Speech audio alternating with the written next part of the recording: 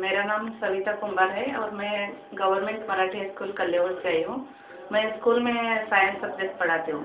दस साल पहले मैंने कंप्यूटर का बेसिक पूरा किया था, लेकिन बीच में वो प्रैक्टिस ना होने की वजह से मैं सब भूल गई थी। लेकिन अभी इधर माइक्रोसॉफ्ट ट्रेनिंग छः दिन के माइक्रोसॉफ्ट ट्रेनिंग में आके मुझे सभी बेसिक फिर से सीखने को बहुत अच्छी तरह से मिला है। और मैं बहुत अच्छा फील कर रही हूँ इधर। ट्रेनिंग भी बहुत अच्छी तरह से दी है सभी ने।